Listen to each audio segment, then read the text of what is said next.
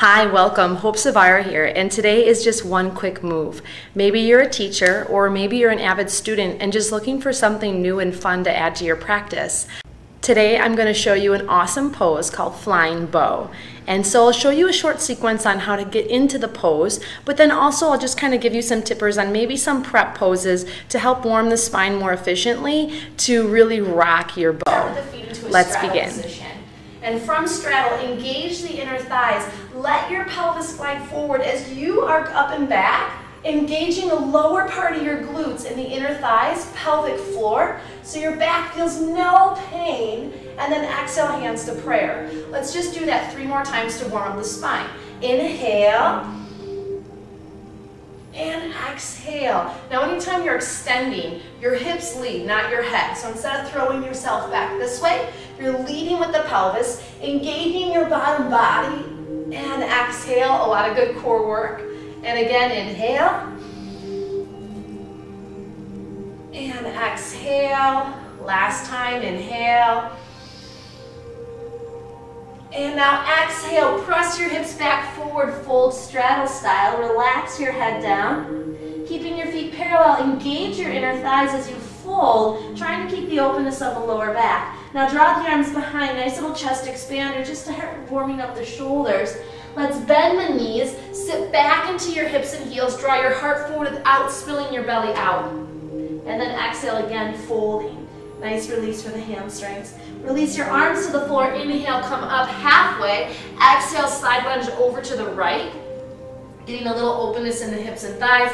Lean to the inside of your right leg as you reach with your left arm. Nice side stretch. Sit back into your hips and heels.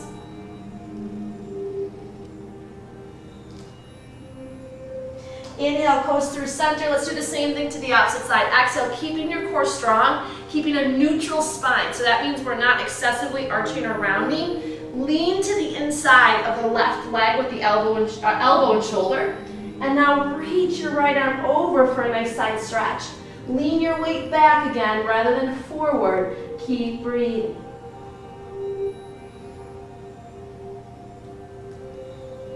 And then inhale back to center. Let's turn to the left. Drop the back knee to the floor and curl the toes. Press through the top of the back foot. Roll yourself up. Exhale. Level your hips. So most likely the hip of the front leg has to pull down. Hip of the back leg has to pull up. Your socket is leading, not your belly. Keep a nice neutral spine. Inhale, reaching up, press into the front leg. Rather than going sloppy deep, I want you to try to almost think about being more buoyant. Engage the inner thighs, interlace the fingers above, relax your shoulders. Now press from your back big toe to your pointer finger. Inhale through the nose, breathe into your lungs rather than into your lower belly. Exhale, engage your pelvic core.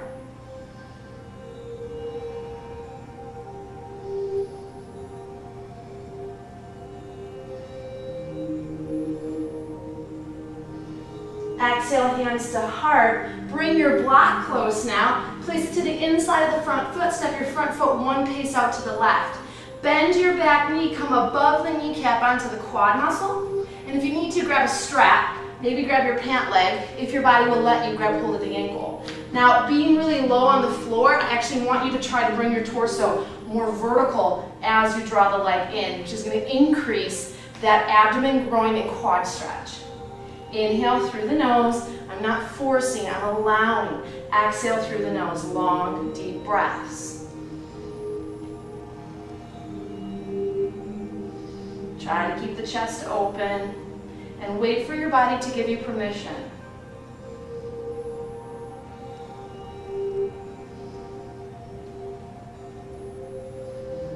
Exhale, release the back leg, move the block off to the left, runner's lunge, square your hips. Exhale, roll yourself up steady.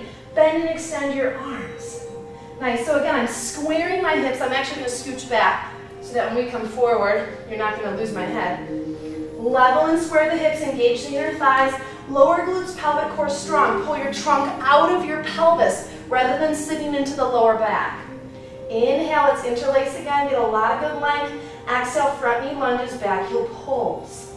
If you know you have a really tight pelvis, bend the back knee and that will help you keep neutral.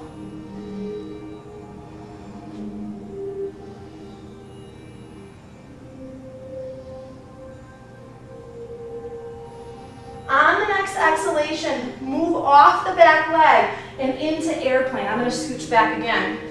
Sorry, guys. Keep the base knee bent and really focus on squaring the hips, flex the heel, lift the heel. Now belly stays strong, outstretch your arms, lift through the tops of the hands into a nice airplane variation. At the last second, you're gonna extend your leg. Quad is strong, not to lock the knee. If you're struggling to square the hips, keep the base knee bent.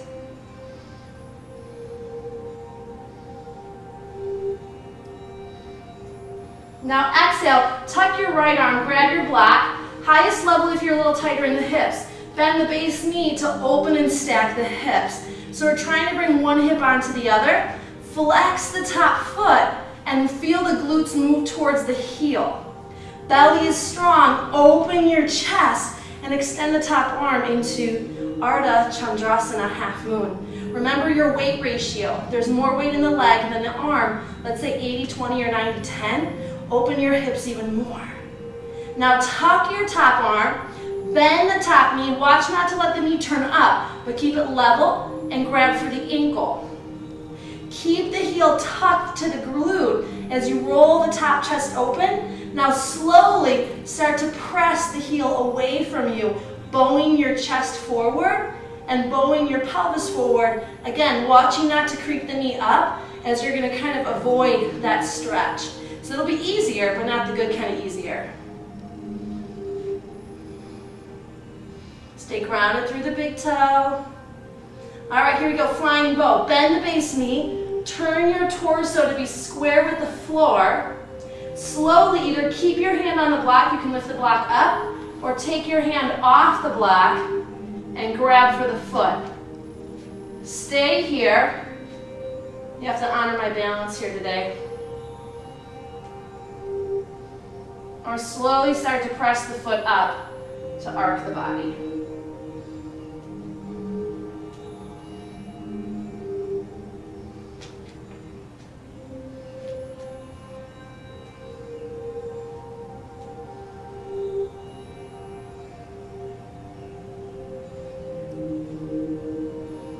Slowly hand to the floor, standing split. Exhale, runner's lunge. Into straddle. Take your black whip.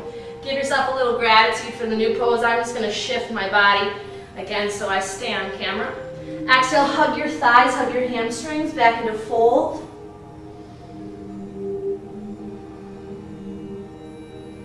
Inhale, lift halfway up. Exhale, side lunge to the left.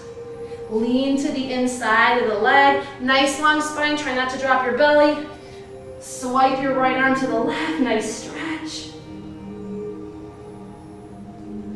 Inhale, coast up through center. Exhale, opposite side. Keep your feet grounded. Sit back into your heels rather than your knees. Your hip is a better anchor point than your knee is.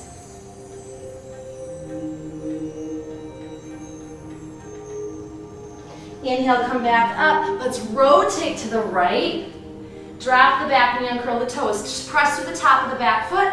If you want to check your back leg, it should be directly behind the knee rather than sinking in or out. Usually a sign of a hip issue. Exhale, roll yourself up. Level your hips.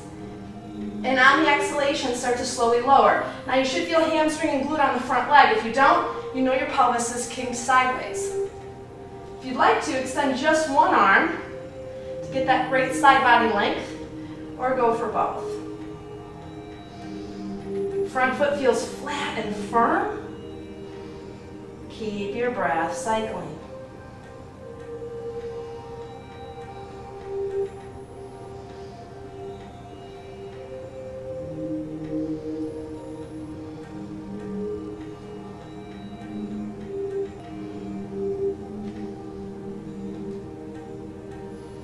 Exhale, hands to the floor.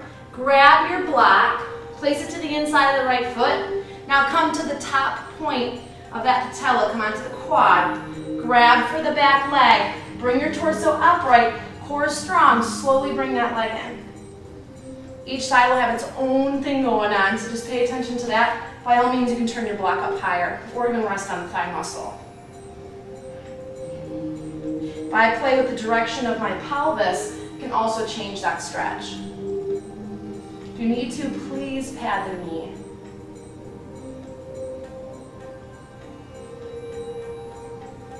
One thing I always try to encourage my students is to not confuse speed with function. Also not to confuse flow with moving fluidly. Moving fluidly is about using your breath and being mindful. Release the leg, move your block, roll the toes under runner's lunge, square your hips, exhale, roll yourself up, arms bend and extend, feel your body long, natural curves of the spine. I'm gonna scooch back again. and breathe.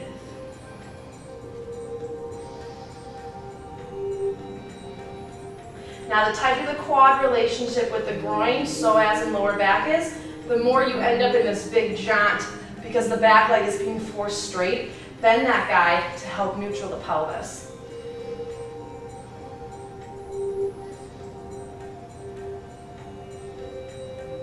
Find a focal point on the floor, arms float out to T. Keep the front leg bent as you push off the back leg. Into airplane, square the hips, and really get into the deep, deep glutes.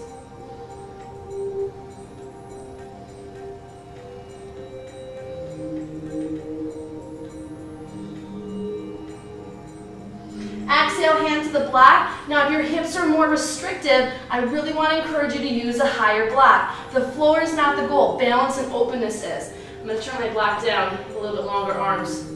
Block is diagonal with the foot. Keep your weight balanced on the foot, keep the base knee bent to help open the hips. Flex your top foot as you lengthen and open your whole torso. Tuck the top arm and emphasize the shoulders opening ground through the entire base foot.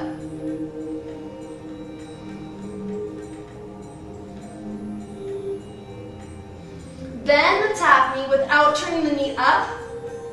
Keep that knee parallel and just pull the heel gently into the glute for a nice quad stretch.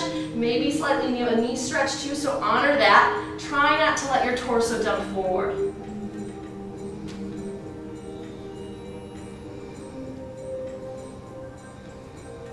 Leg is strong.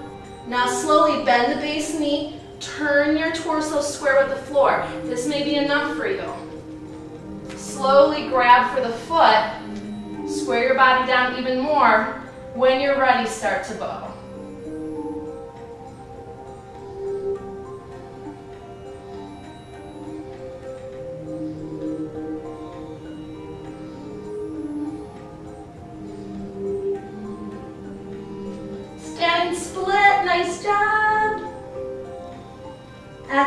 Lunge.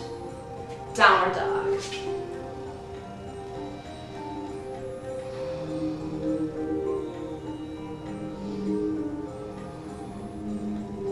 Knees to the mat, take them really wide, sit back on your heels. Keep the belly lifted to honor the natural curve of the spine and let your body stretch.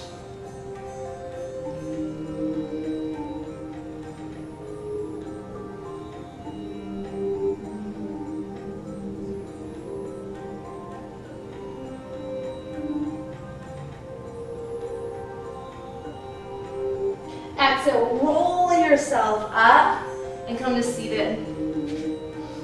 It's amazing when you allow yourself to be creative and let your breath flow with your heart's greatest desires, what can come to you on the mat. So I want to encourage you to implement flying bow pose into your practice and see what happens. Share it with your students, share it with your friends, most importantly, share it with yourself. For more information, visit my website at hopezvara.com. If you haven't yet subscribed to my YouTube page, please do, and you can take advantage of all my new videos that are coming out. And also make sure you put it in your calendar, October 2014, I'll be coming out with an online e-course for my Core Functional Fitness Level 1 teacher training. See you soon. Namaste.